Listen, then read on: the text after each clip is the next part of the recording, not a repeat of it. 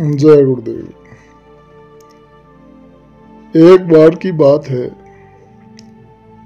मथुरा आश्रम से चलकर स्वामी जी महाराज राजस्थान में सत्संग करने के लिए कार से जा रहे थे। तो साथ में कुछ सत्संगी प्रेमी भी थे। रास्ते में लगभग उस समय दस बज रहा था। गर्मियों के दिन थे। तो स्वामी जी महाराज ने अपनी गाड़ी को एक जगह सड़क के किनारे खड़ा किया और उतर गए। साथ में जो सत्संगी भाई चल रहे थे, वे लोग भी उतर गए।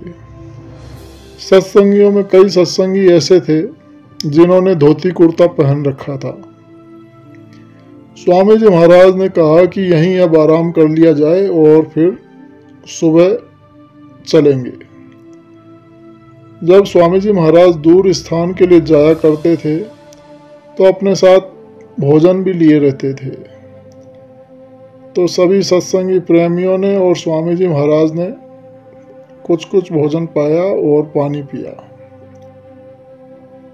जहाँ स्वामी जी महाराज रुके, वहाँ आसपास कोई बस्ती नहीं थी, बस वहाँ सड़क ही थी।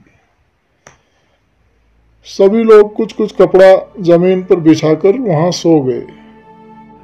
मगर स्वामी जी तो जग ही रहे थे।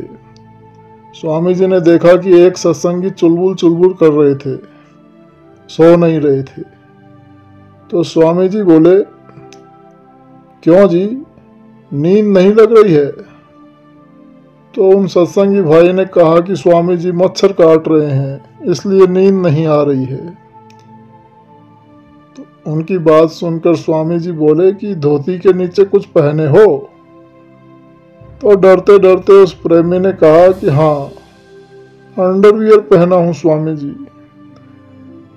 इस पर स्वामी जी बोले कि धोती खोलो और अंडरवियर पहने हुए सो जाओ। अपनी धोती ओढ़ लो। फिर मच्छर नहीं लगेगा। उसने हुक्म का पालन किया और वहाँ स्वामी जी महाराज के साथ सुनसान रास्ते में सभी प्रेमियों ने रात बिताई। जय गुरु